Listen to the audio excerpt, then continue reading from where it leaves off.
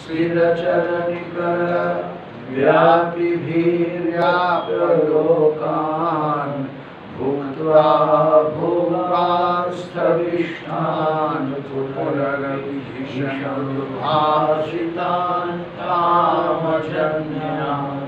विद्या सर्वान् विशेषान्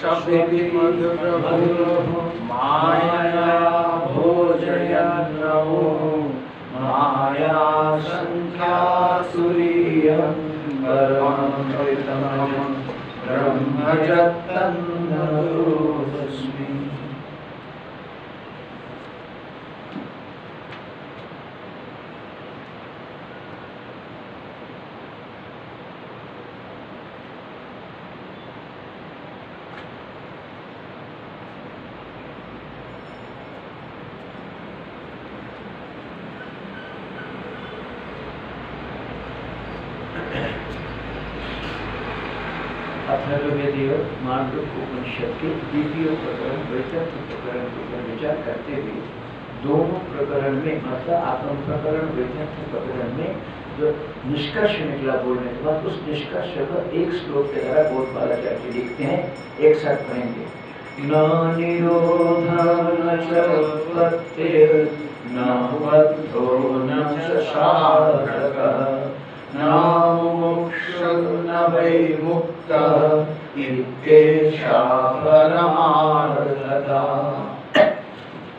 जगत मिथ्या है, क्योंकि दिखाई दे रहा है इसके। जो बिल्कुल सुनने में हमको हमारे जन्मांतर संस्कार से बिल्कुल उल्टा ही दिखते हैं। संस्कार से होते हैं कि जो दिखाई देता है आपको, वो जो है मिथ्या होता है। जहाँ पे कोई प्रमाण प्रवृत्ति ही नहीं हो सकता, वो पारमार्थिक सत्य वस्तु है। और जो प्रमाण के द्वारा नहीं जाना जाता है वो क्या होता है कि व्यवहारिक प्रमाण के द्वारा, प्रमाण जहाँ पे प्रमाण होगा तो वो तुम्हारा मिथ्या ही होगा, प्रमाण के द्वारा नहीं जाना जाएगा क्योंकि प्रमाण कल्पित का मतलब आप अभ्यास करके व्यवहार करते हैं। और जो जहाँ प्रमाण प्रवृत्ति नहीं होता तो हो गया हमारा शुद्ध चेतन, वो हो गया हमारा आत्मा, परमात्मिक सत्य अवस्था और जहाँ पे जिसको प्रमाण के द्वारा नहीं जाना जाता, वो वस्तु है कि नहीं है, उसको लेकर शंका होता है। कभी कभी प्रमाण नहीं जानते हैं कि दूसरा कोई व्यक्ति जानते हूँ अथवा नहीं भी जानते हों तो प्रमाण के द्वारा नहीं जाना जाता है, कोई वस्तु ऐसा है, कोई वस्तु प्रमाण के द्वारा जाना जाता है कुछ वस्तु एक वस्तु ऐसा है, जहाँ पे प्रमाण प्रवृत्ति नहीं प्रमाण प्रवृत्ति नहीं जब यहाँ पे प्रमाण प्रवृत्ति नहीं पता तब कोई शास्त्र में लिखा है कि उत्पत्ति लय आदि होना संभव ही नहीं है। न निरोध, न च उत्पत्ति। मतलब नाश होना भी संभव नहीं है। नाश पहले क्यों किया? तो सामने हमारा दिखाई पा रहा नाश कोई पहले किया। यद्यपि वेद व्यास किसी तो सूत्र समय पहले जन्मों की उत्पत्ति को पहले लिए थे। भरत यहाँ पे नाश को पहले लिया, क्योंकि यहाँ पे दिखा इसका नाश कभी सोचना ही नहीं है। क्योंकि इसकी उत्पत्ति हुई नहीं है। ये प्रकृति मात्र है। इसलिए यहाँ पे ये प्रकृति मात्र है, इसीलिए यहाँ पे जो है सोचना नहीं है इसके लिए। और क्योंकि उत्पत्ति नहीं हुई, जब उत्पत्ति नहीं हुई तब साधन कौन है? बंधन ही किसका है? और मुक्ति कौन होगा? और मुक्ति की क्या अवस्था है? न बंधन में एक स्वाभाविक स्थिति है, यही स्थिति पारमार्थिक है, यही है, पारमार्थिक स्थिति है। बंधन की मान्यता देकर के हम फिर मुक्ति के लिए प्रयास करते हैं। न बंधन है, न मुक्ति। मुक्ति हाँ शास्त्र अज्ञान को लेकर के शास्त्र प्रवृत्त होता है। इसलिए क्या होता है कि अज्ञानी जीव की मन की जो भ्रांति भाषण में बैठा हुआ है, ये भ्रांतात्मक जो है वो उसको अनुमान करते हुए फिर ये कहते हैं कि भाई ये पार्वती है ही नहीं। हमारे पास जो है हम लोग इसका कहाँ तक पढ़ लीजिए? यदि एवं द्वैत अभाव है शास्त्र व्यापार न अद्वैत विरोधा, यदि ऐसा ही है क्या? द्वैत के अभाव है। और कैसे जाना आपने? शास्त्र के द्वारा यदि शास्त्र के द्वारा आप द्वैत को जानते हैं तो शास्त्र तो अद्वैत को सिद्ध नहीं कर पाएगा। शास्त्र क्या काम किया? द्वैत का निषेध किया। तो अद्वैत सिद्ध हुआ ही जब अद्वैत सिद्ध नहीं है तो अप्रामाणिक अप्रामाणिक वस्तु का क्या देगा शून्यवाद की प्रसंग आ जाएगा। शून्यवाद की प्रसंग आ जाएगा। अब जो है यहाँ पे कि द्वैत अभाव का द्वैत प्रपंच है नहीं यहाँ पे, इसलिए जो है आप ये नहीं कह सकते कि बात तो शून्यवादी बौद्ध हो जाए। सिद्धांत पक्ष हमको समझाते न, द्वैतु सर्पादि सर्प जो भी कुछ हमने विकल्प किया, सर्प गंधर भूषित माला वो कोई ना कोई अधिष्ठान के ऊपर ही होना संभव है। निरधिष्ठान क्रांति कभी नहीं हो सकती। नहीं हो सकती निष्प्रगति थी। प्रत्युत्तम तो अध्ययन में पहले कथन करके आया। कथन करके कथन पुनरुज्जीव कहाँ कथन करके आया। इसको पहले। क्या? ये जो जगत में पारमार्थिकता नहीं है और निरास्पद भ्रांति हो नहीं सकता इस विषय को हमने पहले कथन करके आया। प्रत्युत्तम एतत् कथम उज्जीवीय उज्जीवसी आगम प्रकरण में बोल कर गया तो वहाँ पे आगम प्रकरण में देखिए फोर्टी एट पेज में देखिए। फोर्टी एट यहाँ पे ना नाम तो भैष प्रज्ञा भैसा प्रज्ञ मंत्र है ना? हाँ। हाँ? उस फोर्टी सिक्स फोर्टी सेवन उसी में देखिए आगे देखिए वहाँ पे लिखते हैं क्या? कि रज्जु सर्पादि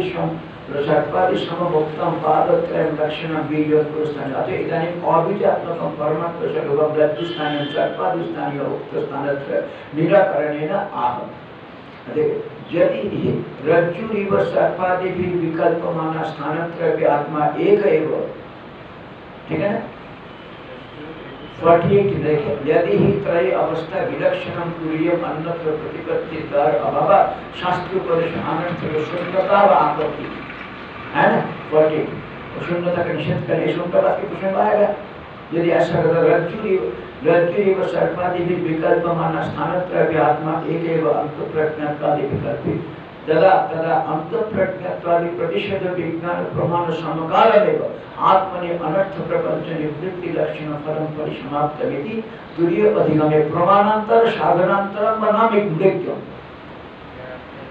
क्या हुआ? कि चतुर्थ आत्मा को जानने के लिए कोई प्रमाणांतर अथवा कोई साधनांतर कुछ की आवश्यकता नहीं है, यह उत्तर दे के आया। क्या प्रश्न हुआ ना यहाँ पे क्या बोलता है द्वैत अभावात्मक? आपने क्या बोला? अद्वैत को प्रमाणित नहीं कर पाएँगे, और द्वैत तो आपको सब मिथ्या माना है नहीं, तब क्या हो जाएगा? सुंदर तो कुछ है नहीं, संशय में। इस प्रकार शंका होने पर बोलते हैं कि रज्जु सर्पादि विकल्प का आधार, कोई एक तत्व है, इसलिए निरास्पद नहीं हो सकता, इसलिए शून्यवादी कभी भी प्रसंग नहीं आएगा। ये पहले उत्तर दे कर गया अगम प्रकरण में। इसी यहाँ पे बोलते हैं हमने यहाँ पे जो बोला ना कि प्रमाणांतर, साधनांतरम हम देखता हूँ देखो, ये मधुसूदन सरस्वती भगवत गीता में क्या समझा रहे जिस प्रकार मान लीजिए आप समस्त वृत्ति को निरोध कर दिया समस्त वृत्ति को निरोध करने के बाद आपको आत्म संबंधी बोध कैसे होगा? बोध करने के लिए तो आपको वृत्ति चाहिए तब तो बोध उत्पन्न होगा। उत्तर क्या देते हैं?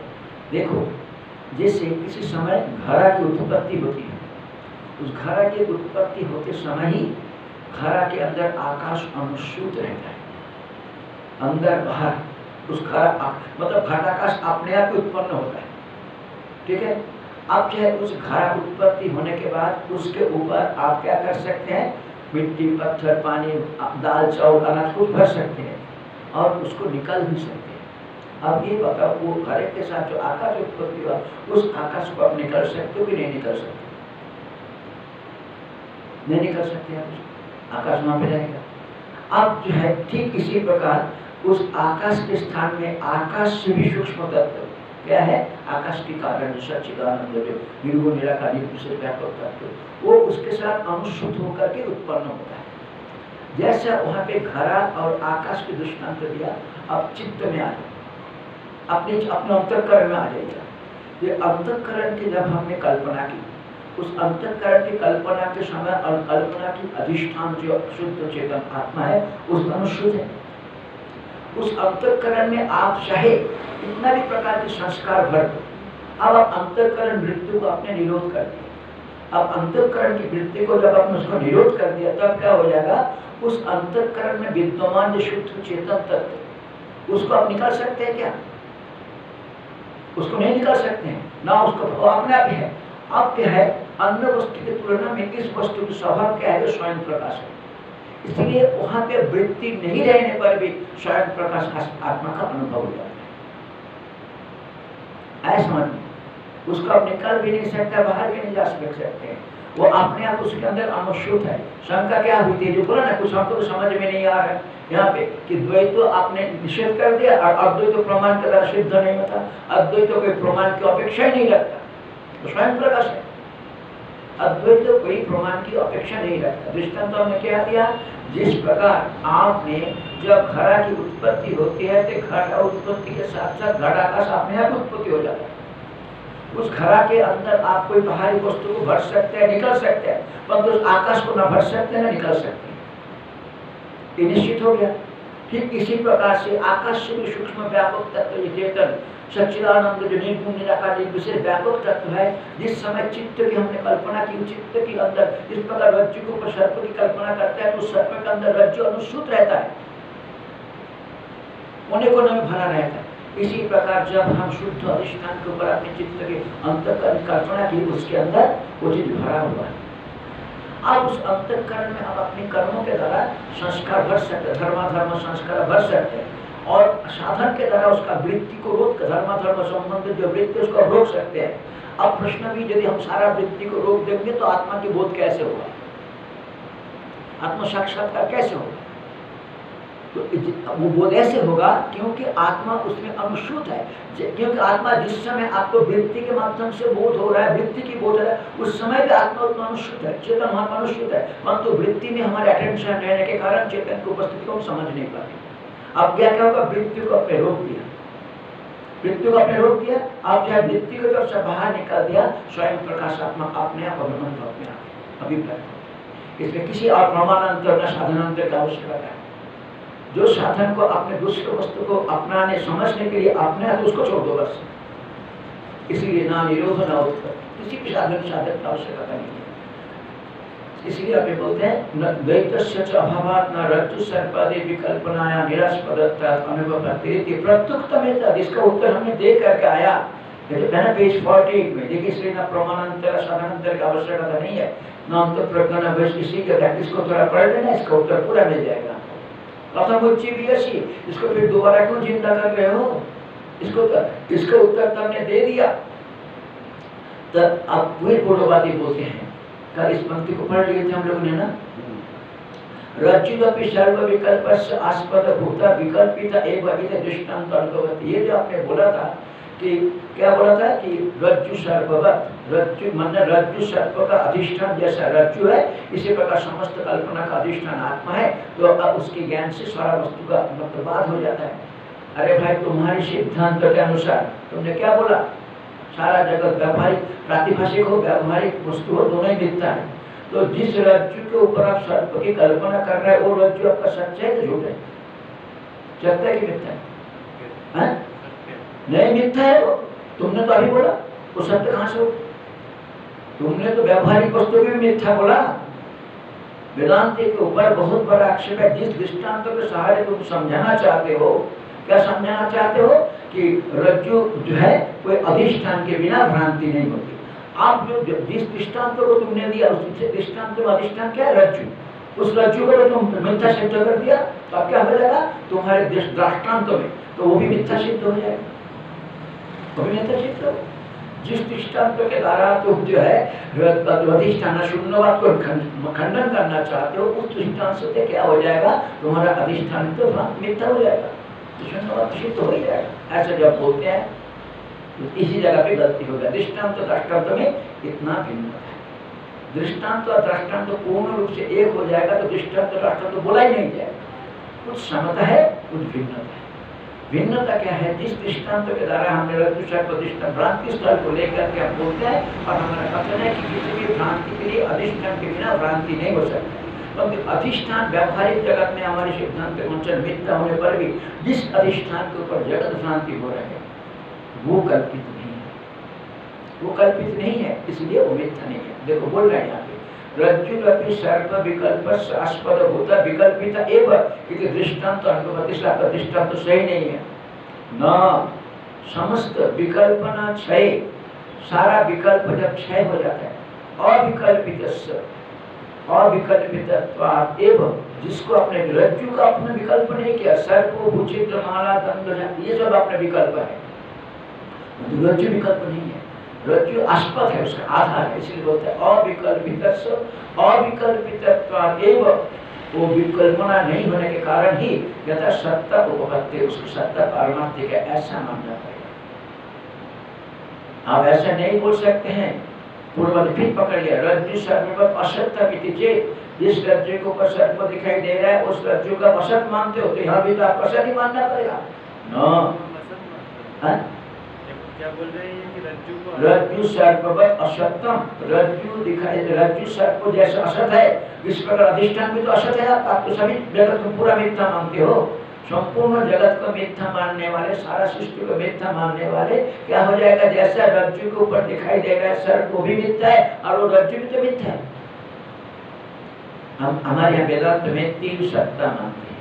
कल भी मैं बताया था, एक प्रातिभाषिक सत्ता एक व्यवहारिक सत्ता एक पारमार्थिक सत्ता मांडव को कारिका का व्यवहारिक सत्ता वहाँ देंगे वो बोलते प्रातिभाषिक और पारमार्थिक। कोई फ़र्क नहीं। हम जब रज्जु के ऊपर दिखाई दे रहे सर्प को मिथ्या बोलते हैं तो किसके सापेक्ष में बोलते हैं? रज्जु के ऊपर दिखाई दे रहा है जो सर्प वो मिथ्या है। किसके सापेक्ष में मिथ्या है? जो रज्जु है, उसके सापेक्ष में रज्जु के ऊपर दिख है। अब जब हम रज्जु को मिथ्या बोलते हैं, अधिष्ठान को मिथ्या, वो किसके सापेक्ष में बोलते हैं? आत्मा के साथ, स्वरूप के साथ, मूल अधिष्ठान के साथ उसके मिथ्या बोलते हैं। इस चीज़ को पकड़ नहीं पाए। कि आप जो है जिस दृष्टांत के ये प्रमाण क्रम में नहीं है? आत्मा कोई प्रमाण के द्वारा नहीं जाना जाता है। परंतु समझ में आता है। अब उसको समझाने के लिए हम रज्जु सर्प के दृष्टांत देते हैं। यद्यपि हमारे सिद्धांत के रज्जु भी एक मिथ्या मतलब माइक वस्तु है। रज्जु भी एक माइक वस्तु है। इसीलिए वो शंका करते थे रज्जु भी एक माइक वस्तु मिथ्या होगा तो आपकी जिस जिस दृष्टांत के द्वारा जिस दृष्टांतों को आप समझाना चाहते हो, वहाँ भी तो आपका अधिष्ठान मिथ्या हो जाएगा। बोलते नहीं, ये हमारे सिद्धांत है प्रातिभाषिक सत्ता, व्यवहारिक सत्ता, पारमार्थिक सत्ता। पारमार्थिक सत्ता। तो न एकांतेन अविकल्पितत्वात्। विषय तो सामने है, परंतु जिस, इस वस्तु का हमने विकल्प किया, वो विकल्प उसमें नहीं, आत्मा में नहीं विकल्पना विकल्प। इसलिए अविकल्पित रज्जु अंशवत। देखिए, इस चीज़ का ध्यान देना। अविकल्पित रज्जु अंशवत। तो हमें तीन भाग है आप क्या बोलते हैं? और रज्जु अंश समझ में आ रहा है?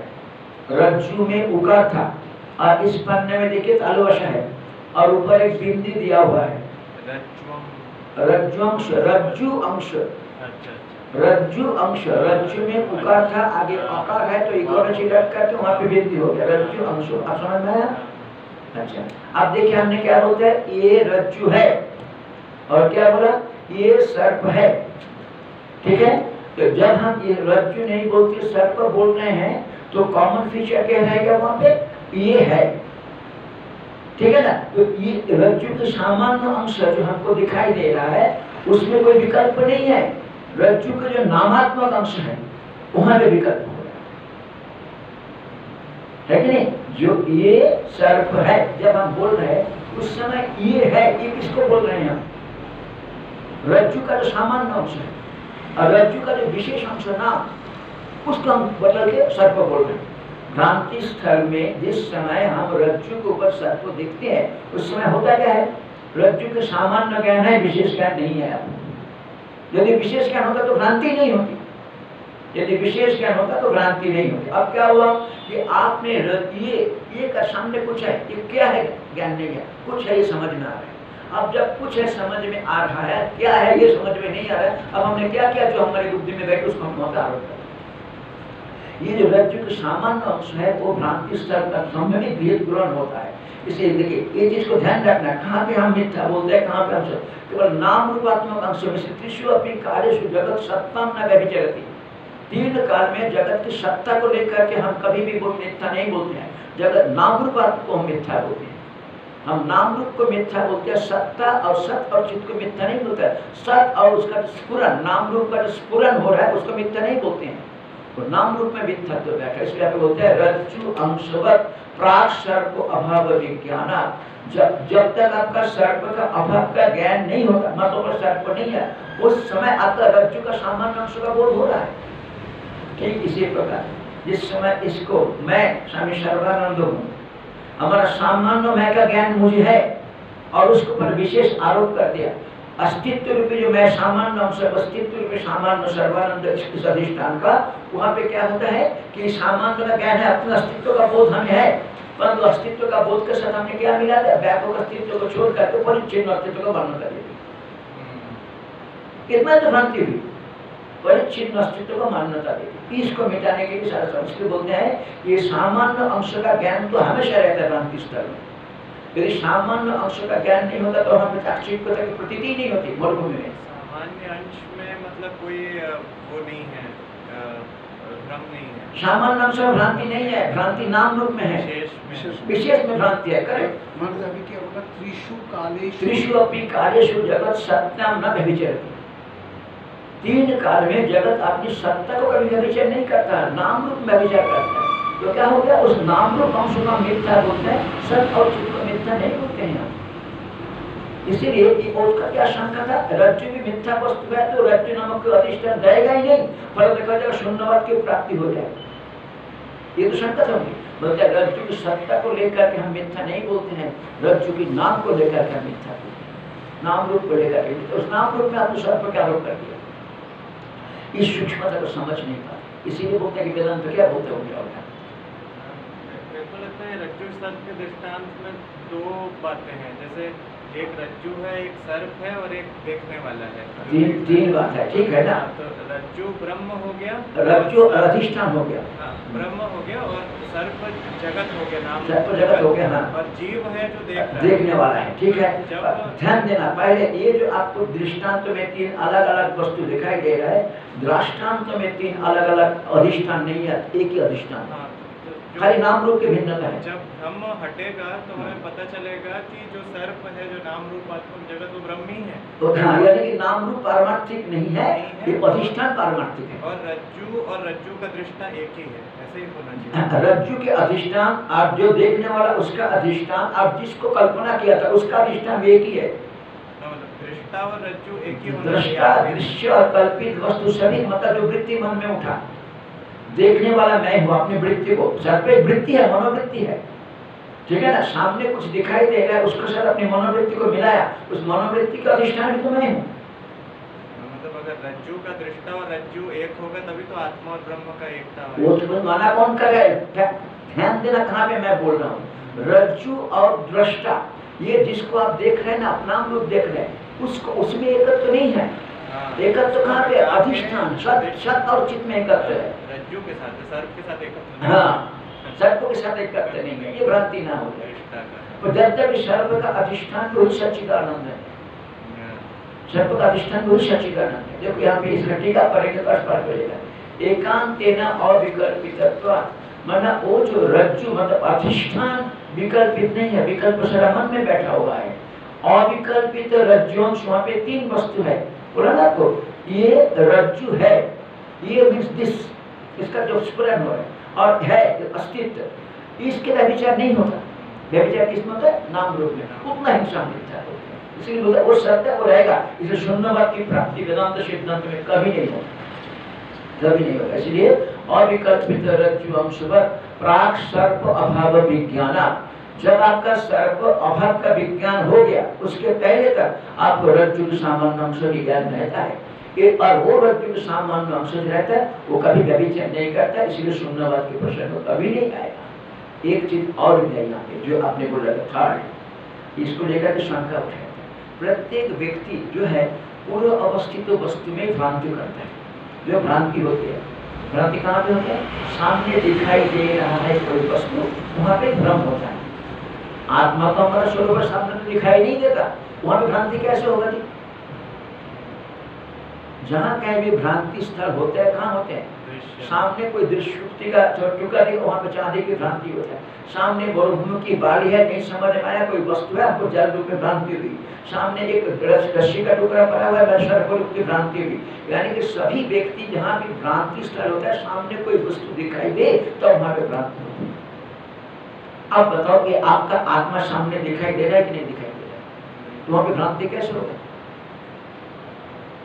ये दृष्टांत राष्ट्र में ये चीज़ को जो है इस भिन्नता को स्पष्ट करके समझ लेना चाहिए भगवान अध्यास भाषा में उत्तर देते हैं, ज़रूरी नहीं है कि सामने दिखाई दे रहे वस्तु में आपको भ्रांति हो। अब बताओ, आकाश आपको दिखाई देता कि नहीं दिखाई देता? आकाश इंद्रिय गम्य वस्तु है कि नहीं है? नहीं है। परंतु तो हम क्या बोलते हैं? आकाश नीला है, आकाश कटाकार है। आरोप करते हैं, ना आकाश नीला है, ना आकाश कटाकार है। आकाश गोलाकार भी तो नहीं है पर तो हम ऐसा व्यवहार बचपन से ऐसे करके आए और अभी भी प्रतीति ऐसी होती है निश्चय रहता है क्या? कि ना मेला है आकाश का रंग और ना आकाश का रंग। ठीक इसी प्रकार ज़रूरी नहीं है कि हमेशा कोई वस्तु सामने दिखाई दे, तब हम भ्रम करेंगे। अब ये दृष्टांत देने के बाद फिर बोलते हैं अब बताओ, ये जो आत्मा बिल्कुल आपका बुद्धि का अविषय है क्या? मैं मैं मैं मैं करके तो हमेशा व्यवहार करते रहते हो। तो बुद्धि का विषय कैसे हुआ? उस मैं को ठीक से नहीं पहचानने के कारण आप शरीर मान लेते हो। स्त्री, पुरुष जो भी कोई गाय, कुत्ता बिल्ली, भैंस मान लेते हो। पर इसलिए जो सामान्य अंश है सामान्य अंश का ज्ञान हमारे हमेशा रहते हैं और सामान्य अंश का ज्ञान नाश नहीं होगा, इसलिए क्या होता है? कभी भी हमारे यहाँ पे शून्यवाद की प्रसंग नहीं हो सकता। कभी भी शून्यवाद की प्रसंग एक थर्ड जो अभी बोला, ये तीन चीज़ आपको दिखाई देता है। एक दृष्टा, एक सर्प और पे भ्रांतो यानी कि जिसके जिसके अंदर भ्रांति हो रहा है, जो व्यक्ति गलत, उसकी अस्तित्व पहले सिद्ध होता है। किसी भी प्रमाण की प्रयोग से पहले, प्रमाता की सिद्धि पहले होती है। किसी भी प्रमाण की प्रयोग से पहले प्रमाता मतलब उस प्रमाण के द्वारा प्रमाण हो गया इंद्रिया। प्रमेय वस्तु हो गया, हमारे सामने जो भी दिखाई दे रहा है, शब्द, स्पर्श, रूप रसगंध हो गया, प्रमेय वस्तु और प्रमाता जिसका ज्ञान प्राप्त करने वाला प्रमाण की अपनी प्रमेय वस्तु में प्रवृत्त करने से पहले प्रमाता की अस्तित्व तो पहले सिद्ध होता है। और प्रमेय वस्तु में भ्रांत कहने पर भी प्रमाता कभी भी भ्रांत नहीं प्रमाता में भ्रांति होता है ही भ्रांति। प्रमाता के अस्तित्व में भ्रांति कभी नहीं होती। इसीलिए पे बोलते हैं विकल्प इतुश्च मतलब विकल्पना कर विकल्प इत्री प्रातिपदिक है। विकल्प इत्री मतलब षष्ठी विकल्प इतुश्च। प्राग कल्प विकल्पना उत्पत्ति। कोई विकल्पी, विकल्प करने से पहले मतलब रज्जु को देख करके जो हम अलग अलग करके विकल्प कर देते हैं, इस विकल्प करने से पहले, उस विकल्प करने वाला का अस्तित्व तो पहले सिद्ध होता है। उसको हम कभी मिथ्या नहीं बोलते हैं। इसलिए प्राग विकल्पना उत्पत्ति, सिद्धत्व, अभ्युपगमा, उसकी सिद्धि हो जाता है, ऐसा हमारा मान्यता होने के कारण असत अनुभव इसलिए जो है, जगत असत हो जाएगा, अथवा अधिष्ठान शून्यवत की प्राप्ति हो जाएगा। ये कभी होना संभव ही नहीं है, कभी होना संभव ही नहीं है। ठीक है? विकल्प इतुश्च प्राक विकल्पना उत्पत्ति। विकल्प करने वाले की विकल्प करने से पहले उसकी सिद्धता वो पहले सिद्ध होता है। ऐसा हमारी मान्यता है। ये मान्यता के कारण कहा जाएगा उस विकल्प, जिसके ऊपर विकल्प किया था, वो तो मिथ्या मानते हैं। परंतु जो विकल्प करने वाला है, वो मित्र वो मित्र इसलिए बोला सिद्धत्व अभ्युपगम सत्व अनुभवती सत्ता का सिद्ध ही नहीं होता।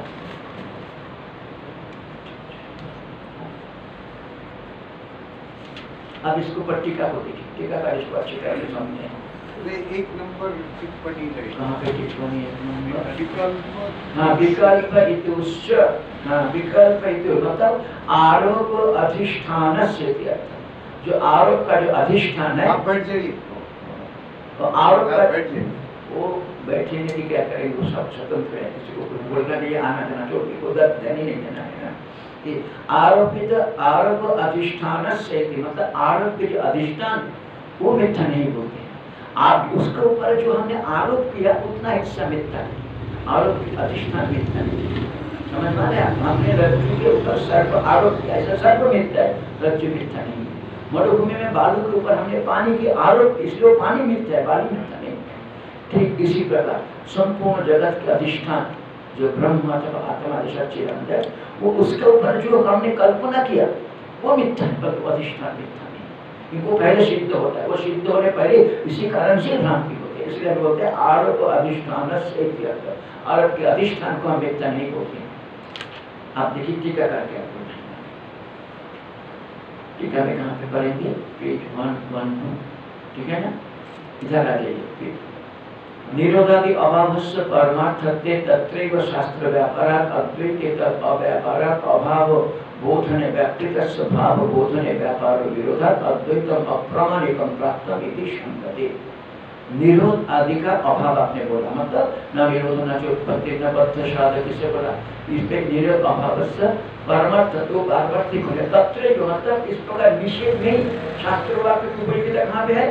निषेध में है। ठीक है, शास्त्र का उपयुक्त निषेध में नहीं है नहीं है। शास्त्र व्यापार, अद्वैत मतलब अधिष्ठान रूपी जो भेद रहित तत्व है, वहाँ पे उसका शास्त्र का व्यापार के कोई प्रमाण गम्य नहीं है वो वस्तु। इसलिए तब अव्यापार, और अभाव बोध होने अभाव की बोध कराने में प्रवृत्त हुआ जो शास्त्र वाक्य, वो एक ही वस्तु की बोध करेगा भाव बोधने व्यापार विरोध यदि वो भी अद्वैत अधिष्ठान का भाव बोधन में भी व्यापृत होगा तो विरोध हो जाएगा। एक ही बात को एक साथ दो वस्तु का विरोधी वस्तु का बोध नहीं करा सकते। एक ही बात को एक साथ दो विरोधी वस्तु का बोध नहीं करा सकते। और वाक्य यदि ये कहता है कि नाम रूपात्मक जगत दिखता है, इतना मात्र से ये तो सिद्ध नहीं होता कि उस नाम रूप जिसके ऊपर दिखाई देगा ये सत्य है। ये तो आपने नहीं कहा। व्यास बात को देखे, जाकर प्रवृत्त होगा। निषेध करके आपने नाम रूप को इसीलिए आपका जो है शून्यवाद प्राप्त होगा पूर्व शंका कर रही है। प्राप्तम। अप्रामाणिकम मतलब अद्वैतम, अप्रामाणिकम प्राप्तम इति शंका। इसलिए अद्वैत तो प्रामाणिक नहीं है। इसलिए प्राप्त होने पर ये शंका करते हैं। मतलब इति शंका इस प्रकार से शंका करते हैं। यदि एवं द्वैत अभाव शास्त्र व्यापार और अद्वैत विरोध द्वैत की अभाव में ही शास्त्र का व्यापार प्रवृत्त होने के कारण अद्वैत पारमार्थिक सत्य, ये कहना शास्त्र का अभिप्राय नहीं होगा, क्योंकि तब विरोध हो जाएगा। अच्छा भाई अद्वैत प्रामाणिकत्व अभाव किम यदि अद्वैत प्रमाण के द्वारा सिद्ध नहीं होते तो नुकसान क्या होगा इससे? अद्वैत यदि प्रमाण के द्वारा सिद्ध नहीं होता तो क्या नुकसान क्या हो जाएगा? बोलते हैं अद्वैत प्रामाणिकत्व अभाव किम आशंका से शंका होने पर उत्तर उत्तर देते आहो, तथा सती, यदि ऐसा ही मतलब अद्वैत को यदि आप प्रमाण के द्वारा सिद्ध नहीं कर पाओगे, तथा सती अद्वैत से अद्वैत वस्तुत्व प्रमाण अभाव, अद्वैत पारमार्थिक सत्य है, इस विषय में कोई प्रमाण नहीं होगा। प्रमाण के द्वारा जो वस्तु सिद्ध नहीं होता, वो आप ये बोल ही नहीं पाओगे उसके बारे में, इसलिए बोलते हैं अद्वैत से वस्तुत्व मतलब पारमार्थिक प्रमाण अभाव, उसके प्रमाण के अभाव के कारण क्या हो जाएगा? शून्यवाद प्रसंग। शून्यवाद प्रश्न तो बौद्ध तो बन जाएँगे तो वेदांत नहीं रह जाएगा शून्यवाद के प्रश्न आ जाएगा। क्यों? अद्वैत अभाव क्योंकि वहाँ पे द्वैत का अभाव और अद्वैत दोनों का अभाव। अद्वैत को तुम प्रमाण के तरह सिद्ध नहीं कर पाया द्वैत को तुमने सिद्ध कर दिया। बोले तो तुम शून्यवाद में पहुँच जाओगे ऐसा पूर्ववादी कहना चाहते अब देखिए, टीकाकार बोलते हैं अद्वैत अप्रामाणिक तो शून्यवाद द्वैत सत्व अद्वैत प्रामाणिक नहीं हुआ। तो शून्यवाद कहाँ से आएगा? द्वैत तो दिखाई दे रहा है तुमको। द्वैत तो तुमको दिखाई दे रहा है। वो तक दिखाई देगा तब तक तो है शून्यवाद कहाँ से आया? तो वो तो शून्यवाद द्वैत से सत्ता देती आसन करे तुमने तो स्वयं द्वैत मिथ्या बोलते हो तो कहाँ सत्ता है उसको? तो है नहीं। इसीलिए वो आधा मानते आप छोड़ेगा यदि पूरा समझ जाते तब तो शंका ही नहीं होती। पूरा चीज़ को नहीं समझने का ये मतलब ये हमारे अंदर की जो शंका है, पूरा वस्तु को नहीं बोध हुआ, इसलिए शंका होती है। जैसे पूरा के पूरा समझ में आ जाता फिर शंका अपने आप नाश हो जाते हैं। नहीं होता।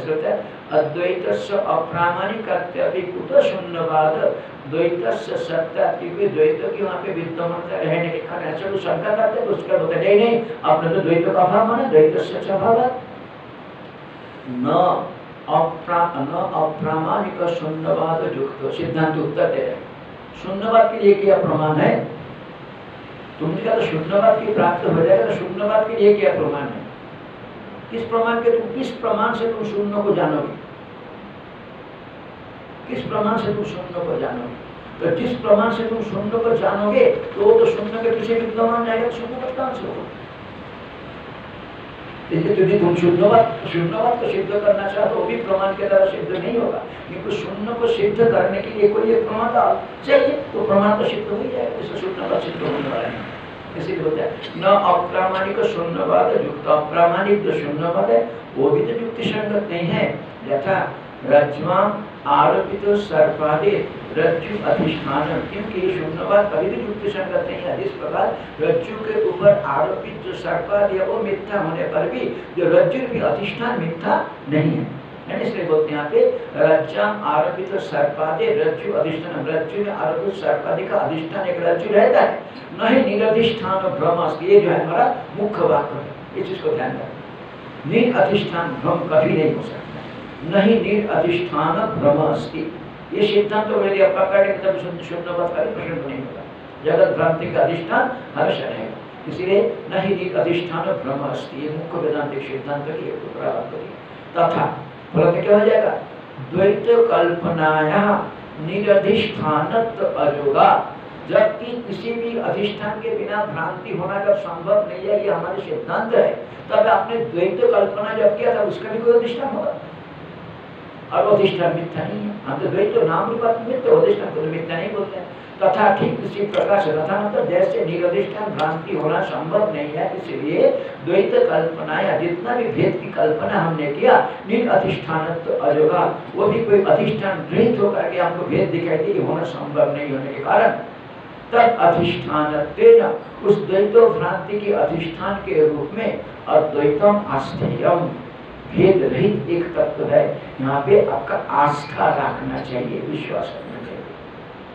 नाम रूपात्मक भेदात्मक जगत की द्वैत प्रपंच जो दिखाई दे रहा है, इस द्वैत प्रपंच की कल्पना रूप में जिस अधिष्ठान के बारे में हम कहते हैं, वो अधिष्ठान हमेशा रहेगा। वो अधिष्ठान कभी भी नाश नहीं होता, ऐसा विश्वास रखना चाहिए। तथा द्वैत कल्पनाया नील अधिष्ठान अजोग, द्वैत कल्पना की अधिष्ठान रहित कल्पना होना संभव नहीं होने के कारण इस द्वैत कल्पना की जो अधिष्ठान है तक अधिष्ठान मतलब द्वैत प्रपंच के अधिष्ठान के रूप में अद्वैतम अस्थिर।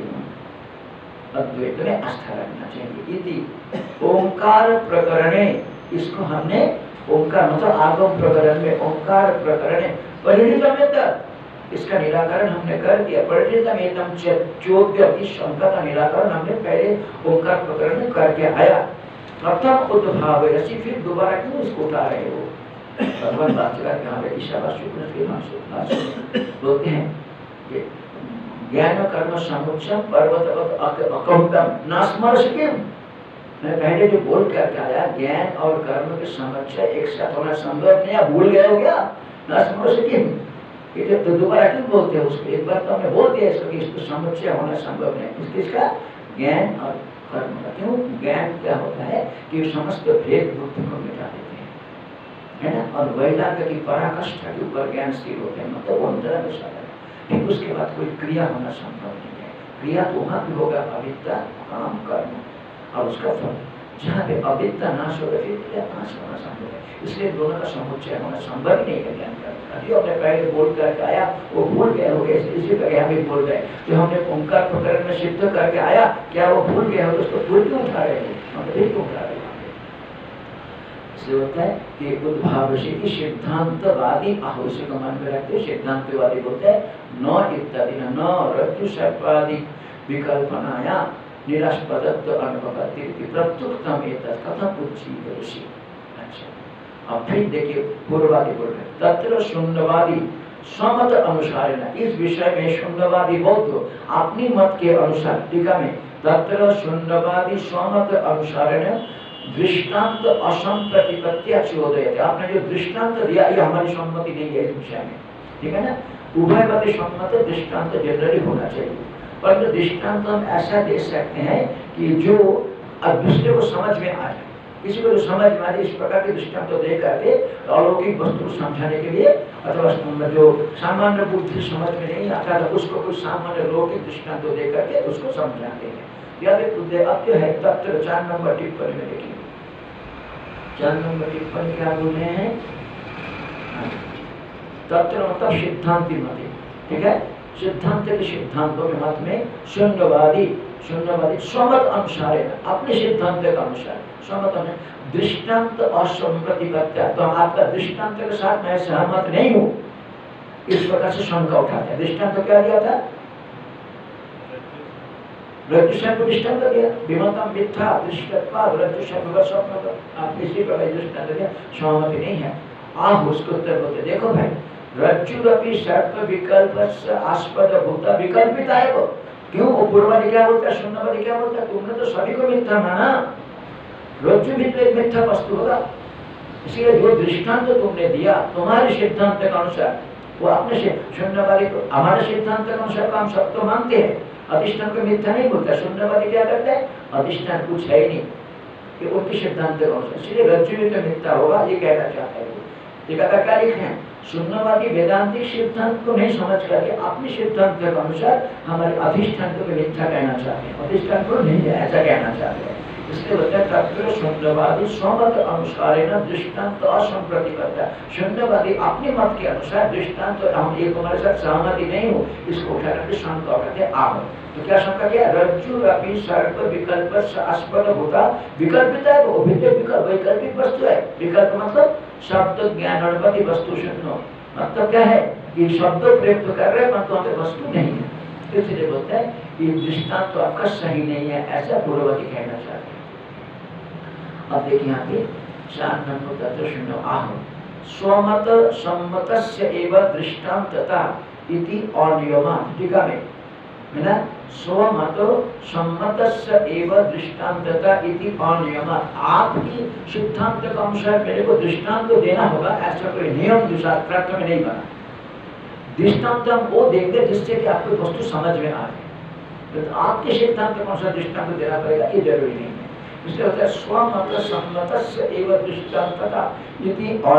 ऐसा नियम नहीं होने के कारण सिद्धांत मत तो उसका सिद्धांत जो देना पड़ेगा, ये ज़रूरी नहीं है। प्रसिद्धि परम प्रतिबोध संभवात। ठीक है ना? देखिए मुख्य क्या है? जो प्रसिद्धि है, जो सब समझता है जिससे कि हम ऐसा कुछ बोलेंगे जिससे कि आपको भी समझ में आ जाए। ऐसा कि प्रसिद्ध वस्तु का हमको दृष्टांत देना पड़ेगा जो दुष्ट को समझ में आ जाए। जिस चीज़ हम अपनी चीज़, जिस चीज़ को हम प्रतिपादन करना चाहते हैं, शास्त्र के सहारे तो यदि हम वो आपको समझाना चाहते हैं तो हमको क्या करना पड़ेगा? ऐसा कोई दृष्टांत देना पड़ेगा जो प्रसिद्ध है परंतु हमेशा ध्यान रखना है। दृष्टांत और दृष्टांत में कुछ अंश समान होगा, कुछ अंश विषम भी होगा। उस समानता अंश को लेकर के ही मात्र दृष्टांत दिया जाता है। विषमता को लेकर के दृष्टांत नहीं दिया जाता। तो इसको ध्यान में रखते देखो, स्वमत सम्मत एवं दृष्टान्तता इति अनियमात प्रसिद्धि मात्रेण परम प्रतिबोधन संभव। जिसकी प्रसिद्धि है, उसको अवलंबन करने से मैं दूसरे को किसी वस्तु को अपना सिद्धांत को समझा सके, ऐसे संभव होने के कारण।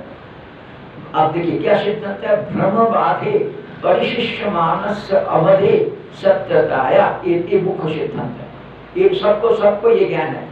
भ्रांति से मैंने जो भी कुछ देखा था वो भ्रांति मिट जाने पर वो भ्रांत वस्तु मिट जाता है परंतु उस भ्रांति के अधिष्ठान विद्यमान रहता है वो सत्य वस्तु ठीक है? भ्रम बाधे सती भ्रम बाधित हो जाने पर परिशिष्य मानस जो बचा हुआ जो अधिष्ठान है, उसका वो अवधि, जो अवधि है, उसका निषेध का जो अवधि है, सत्यताया, वो सत्य होने के कारण कहाँ दिखाई दिया? रज्जु आदि में दिखाई दिया। रज्जु के ऊपर भ्रांति से हमने भूचित्र माला, जलधारा, दंड को भी कल्पना किए थे। परंतु जब हमें उस रज्जु अधिष्ठान की ज्ञान हो जाता है तो सारा कल्पना गिर जाता है रज्जु हमें विद्यमान रहता है। रज्जु विद्यमान दिखाई पड़ता है, इसलिए बोलता है रज्जु ठीक इसी प्रकार से दृष्टांत समझे। द्वैत भ्रम बाध साक्षीतया, है ना? द्वैत जो भ्रांति हो रहा था, उस भ्रांति की अधिष्ठान के रूप में, साक्षी के रूप में स्फुरत चैतन्य से स्फुरन हो रहा है, ये चेतना जब द्वैत प्रपंच बात हो जाएगा, द्वैत प्रपंच मान बाहरी तो छोड़ दिए अपने शरीर से आपके तादात्मता छूट जाएगी। आपकी अपनी चेतना का स्फुरन रहेगा कि नहीं रहेगा? रहेगा हमेशा, क्योंकि जिस समय, मान लीजिए, वहाँ पे आपको समझ में नहीं आता सुषुप्ति के समय जब हम सो जाते हैं, शरीर के साथ बिल्कुल तादात्मता नहीं रहता, कोई थूक दे मक्के बैठे खुद बैठे, हम हाथ पैर भी नहीं हिलाते, कुछ नहीं, उसको लगाने की कोशिश नहीं करते। परंतु उठ करके आप क्या बोलते हैं? अपने अस्तित्व है मतलब अपनी अस्तित्व की बोध आपका रहते हैं ना? मतलब आप मतलब भ्रांत वस्तु शरीर का वो बात हो जाने पर भी अधिष्ठान की, चैतन्य की भान हमको होता रहता है। उस समय भी बोध होता है यदि आप उस समय उसको अनुभव नहीं करते तो अनुभव के बिना स्मृति होना संभव नहीं है। अनुभव के बिना स्मृति होना संभव नहीं है। यदि उस सुषुप्ति अवस्था में अनुभव आपको नहीं हुई होती, तब तो आपको बाद में उल्टे स्मृति होना संभव नहीं होता। इसलिए अनुभव करने वाला कोई जड़ नहीं हो सकता है। अनुभव करने वाला कोई चेतन होते तो समझेगा यानी कोई चेतन तत्व उस समय भी कुछ इसलिए ये जगत ही किसी प्रकार, जगत भ्रांति की अधिष्ठान। मतलब ये जगत भ्रांति तो अलग है, अपने शरीर भ्रांति की अधिष्ठान, यहीं पे समस्या के यहाँ पे अधिक है। वो नहीं है, बोलना आसान है। परंतु ये नहीं है, बोलना बहुत कठिन। क्योंकि इसी को अवलंबन लेकर के हमको बोध होना है। क्या बोध होना है? ये पारमार्थिक जीव क्या अद्भुत बात है। जो कारीगर जैसा जिस दाल में बैठा हुआ था, उसी दाल को काट रहा था। लोग बोलते हैं, मूर्ख है। हमको मूर्ख होता नहीं है थोड़ी सच्चाई है जिस दाल में बैठ करके तुम ये सोच रहे हो, क्या सोच रहे हो कि जगत पारमार्थिक सत्य नहीं है, नहीं, ये ये सत्य भी ये भी पारमार्थिक सत्य वस्तु नहीं है। तब जाके अधिष्ठान तत्व के बोध होता है। और जो लोग सामान्य लोग तो उसको मूर्ख समझे। तो डायरेक्ट जिस ज्ञान में बैठे, उसको काट रहे हैं, जिस शरीर में बैठ करके आपको ये बोध हो रहा है कि मैं शरीर नहीं हूँ मतलब क्या है? उसी शरीर को आप काट रहे हो। यही ज्ञान आपको मुक्ति दे सकता है। ये मूर्खता नहीं है, यही बुद्धिमत्ता शास्त्र दृष्टि से, शास्त्र दृष्टि से। इसलिए आप क्या बोलते हैं कि ब्रह्मवाद परिशिष्य मानस दृष्टत्व। रज्जुआदि में ऐसा दिखाई देने के कारण आप देखिए दृष्टांत को बोलता दृष्टांत दृष्टांत में द्वैत भ्रमवाद साक्षिताया समस्त द्वैत प्रपंच जो भ्रम है, उसके बाद के साक्षी के रूप में स्फुरत चैतन्य स्फुरित हो रहा है जो चेतनता, अकल्पित वो चेतनता कल्पित नहीं है। वो हमारे अनुभव में आता है। वो कल्पित नहीं, अकल्पित देव सत्ता उसकी सत्ता वहाँ पे होने हमेशा रहने के कारण न शून्यता प्रशक्ति, कभी भी शून्यवाद की प्राप्ति होता ही नहीं है हमारे सिद्धांत में। इति उत्तर हम उसको मन में रखते, उत्तर देते हैं सिद्धांत। आया ये पंक्ति देखिए, पूरा सिद्धांत पानंदगिरी जी ने कितना छोटे में समझा दिया। दृष्टांत और दृष्टांत में कैसे घटाना पड़ेगा? ठीक है, इसलिए द्वैत भ्रम द्वैत भ्रम बाध साक्षी का इसको छह नंबर टिप्पणी है। छह नंबर टिप्पणी में लिखे गए होते बाध साक्षितया अद्वैतम अकल्पितम बाध काले अभी स्फुरणत्वात् रज्जुवत भाव। अद्वैतम अकल्पितम। अधिष्ठान है ना कल्पना से रहित है। बाध काले अभी, जब आपने ऊपर की भ्रांत वस्तु को बात कर देने पर भी स्फुरणात् अधिष्ठान स्फुरण होता है। ठीक है ना? जैसे रज्जु के ऊपर दिखाई दे रहा सर्प आदि का बाध हो जाने पर भी अधिष्ठान रज्जु दिखाई देते हैं। और यहाँ पे क्या हो जाएगा इस प्रकार इंद्रियों में नहीं होगा, परंतु अधिष्ठान का स्फुरन आपको होगा। जब आप निषेध करते जाएँगे, ठीक है, हिमालय नहीं है, गंगा नहीं है मकान नहीं है, आश्रम नहीं है, ठीक है, परंतु उसके बाद शरीर में नहीं। मन में नहीं बुद्धि में नहीं प्राण में नहीं।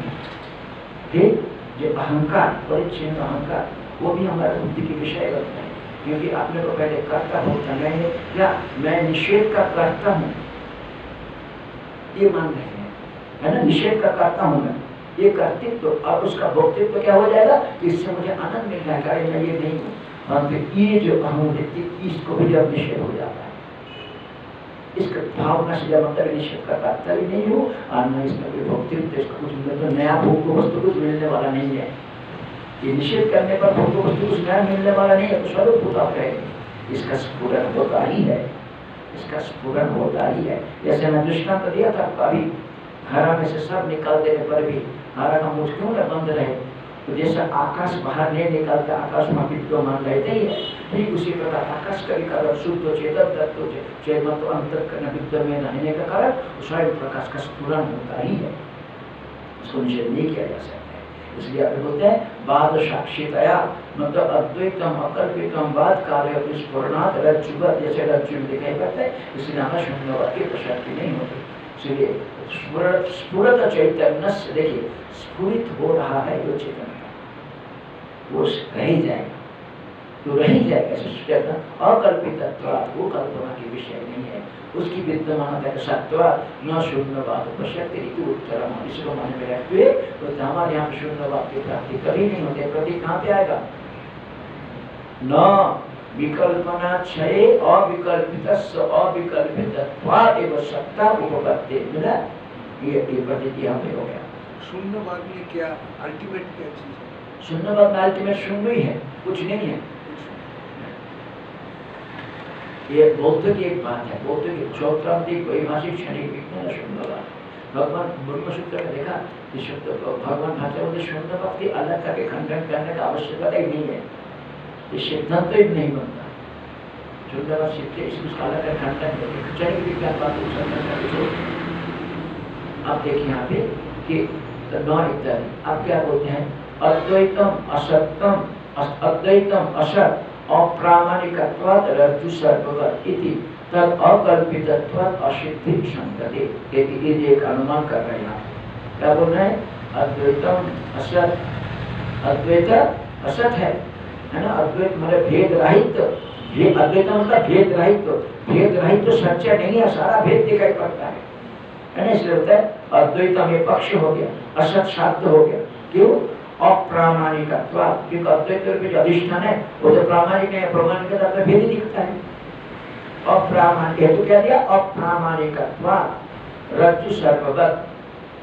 क्या है तो पक्ष क्या हो गया आपका? अद्वैतम। ठीक है ना? और शब्द क्या हो गया? असत। मतलब भेद रहित तो असत है, भेद रहित तो मिथ्या है, भेद सत्य है, ठीक उल्टा।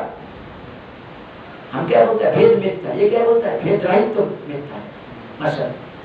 क्यों? अप्रामाणिक अप्रा क्यों बोलते हैं, क्योंकि आपने निषेध में प्रवृत्त हुआ तो अद्वैत को सिद्ध नहीं कर पाए। इसलिए अद्वैत तो अप्रामाणिक है। अप्रामाणिक होगा हेतु। तो अप्रामाणिक रज्जु सर्प जिस प्रकार रज्जु के ऊपर दिखाई दे रहा है सर्प, रज्जु के ऊपर ये दृष्टांत है। रज्जु के ऊपर दिखाई दे रहा है सर्प, ये दृष्टांत हो गया ये कि जैसे ये असत है, इस प्रकार अद्वैत भी असत है। ऐसा पूर्ववादी का अनुमान है अद्वैत हो गया पक्ष। अद्वैत हो गया पक्ष। असत्य हो गया साध्य। अप्रामाणिक हो गया हेतु। रज्जु सर्प हो गया दृष्टांत। व्याप्ति क्या हो जाएगा तो जत्र जत्र अप्रामाणिकत्र तत्र तत्र असत्य ये बोलना चाहते हैं। विभक्ति क्या होगा ध्यान देने इसको। फिर किसी के ऊपर दोष देंगे। कि आपका व्याप्ति में गलती है। बोलेंगे कि आपने क्या व्याप्ति दिया यहाँ पे? जहाँ जहाँ अप्रामाणिकता वो असत जो अप्रामाणिक है, वो असत है। हम ये नहीं बोलते हैं। हम क्या बोलते हैं? जहाँ भ्रांति है, वो असत है। समझ में क्योंकि आत्मा प्रमाण में नहीं है श्रुति अपने आप बोलते हैं। तो आत्मा के असर थोड़ी पड़ा जाते हैं। तो हम किसको असर बोलते हैं? जो भ्रांति से दिखाई पड़ते हैं, वो असत जो प्रमाण के द्वारा नहीं जाना जाता है वो असत नहीं है। ये व्यक्ति को अच्छी तरह समझना है आपको यही तो दोष होगा। रज्जु के ऊपर दिखाई दे रहा है सर्प रज्जु सर्प मतलब रज्जु के ऊपर दिखाई दे रहा है सर्प वो उसमें जो अप्रामाणिक है वो तो कोई प्रमाण के साथ नहीं जाना आपने। हाँ आप आप पूर्ववादी अनुमान ध्यान रखना ये पूर्ववादी का अनुमान है यहाँ पे गलती है। पूर्ववादी अपने कथन का अनुसार पूर्व पक्ष का अनुमान है। पूर्व पक्ष क्या बोलते हैं? अद्वैत हमारे सिद्धांत के ऊपर आक्षेप कर रहे हैं। अद्वैत असत है। क्यों? प्रमाण के द्वारा ज्ञात नहीं होता इसलिए। प्रमाण के द्वारा ज्ञात नहीं होता इसलिए। जैसा कल्पित शब्द जैसा कल्पित सर्प। वो प्रमाण के द्वारा ज्ञात नहीं होते तो सकते तुम मानते हुए अनुमान को पहले समझिए, तब हमारा सिद्ध सुने अद्वैतम असत अप्रामाणिक रज्जु सर्ववत अब दृष्टांत में क्या हो जाएगा? रज्जु सर्प दृष्टांत है। वो प्रमाण क्रम में नहीं है। कैसे प्रमाण क्रम में बोले? क्योंकि आप यदि प्रमाण से देखें तो सही दिखाई पड़ता है। प्रमाण से तो हम दोनों को भी देख रहे हैं सर भी दिख रहा है रज्जु आप वो तो रज्जु नहीं देख रहे आप ऐसे में सर्प को देख रहे हैं। भ्रांति काल में आप किसको देख रहे हैं? वो पूर्ववादी का अनुमान है इसमें गलती तो है तो भ्रांति काल में तो हमको सर्प दिखाई पड़ रहा है। और वो सर्प भ्रांत प्रमाण के तरह नहीं जाना जाएगा प्रमाण के तरह भी ज्ञान होगा। इसीलिए अप्रामाणिक इसीलिए तुम क्या बोलते हो? वो रज्जु सर्प में पूर्ववादी का अनुमान गलती है यहाँ पे। परंतु उसके सिद्धांत के अनुसार रज्जु सर्प में अप्रामाणिक तो भी बैठा हुआ है इसलिए असत भी है। अब सिद्धांत पक्षी उत्तर में क्या बोलेंगे? आपकी यहाँ पे व्याप्ति सही नहीं है। आपने क्या व्याप्ति दिया? जहाँ जहाँ अप्रामाणिक तो वहाँ वहाँ असत। हमारे ये व्याप्ति नहीं है तो आठ नंबर टिप्पणी में छोटे में लिख दिया वहाँ पे।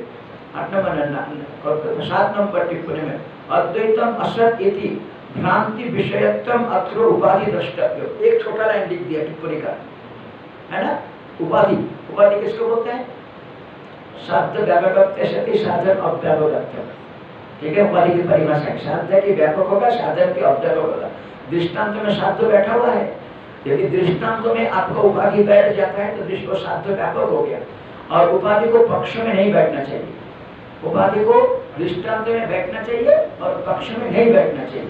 तो दृष्टांत में बैठने के कारण साध्य व्यापक हो जाएगा, पक्ष में नहीं बैठने कारण तो साधन व्यापक होगा। साध्य व्यापक करते से भी साधन अव्यापक करते हैं अब यहाँ पे हमारा क्या है? उपाधि क्या दिया यहाँ पे? भ्रांति विषयत्व भ्रांति विषयत्व हमारी व्याप्ति क्या है? हम उसको असत बोलते हैं जो भ्रांति से विधायक बनता है। और प्रामाणिकता के लिए हम असत नहीं बोलते हैं। जब तक आत्मा का विषय ही नहीं होगा। ये ही है। तो तो प्रमाण ब्रह्म नहीं है। इसलिए तो आत्मा अप्रमाणिक पता आत्मा सिद्ध ही नहीं होगा कभी। इसलिए हम अप्रमाण के कारण असत होगा कि हमारी व्याप्ति नहीं है। तो जहाँ हमारे जहाँ भ्रांति से दिखाई पड़ता है वो असत है। जो भ्रांति से दिखाई पड़ता है वो असत है। इसलिए ये जो है भ्रांति विषयत्व उपाधि समझ में आया ये? ये इस चीज़ को समझ उपाधि मतलब होता है व्याप्यत्व असिद्धि व्याप्ति में असिद्धि है। हमारा उस यहाँ पे क्या व्याप्ति था? यत्र यत्र अप्रमाण तत्व तत्र तत्र असत्य तो हमारे सिद्धांत का है, यत्र यत्र भ्रांति विषय तत्र असत्य यह भ्रांति विषय का बताओ इसलिए तुम हमारे सिद्धांत को समझ नहीं पाया इसलिए तुम बोल रहे हो कि आपका अधिष्ठान भी मिथ्या हो जाएगा। समय होगा आज कौन सा होगा? द्वितीय वाला होगा।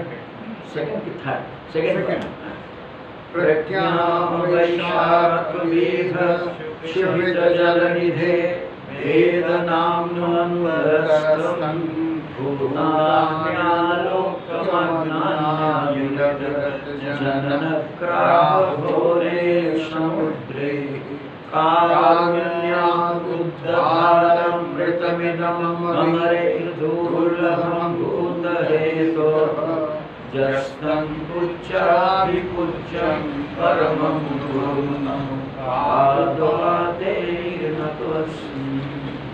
ॐ पूर्णमदः पूर्णमिदं पूर्णात् पूर्णमुदच्यते पूर्णस्य पूर्णमादाय पूर्णमेवावशिष्यते।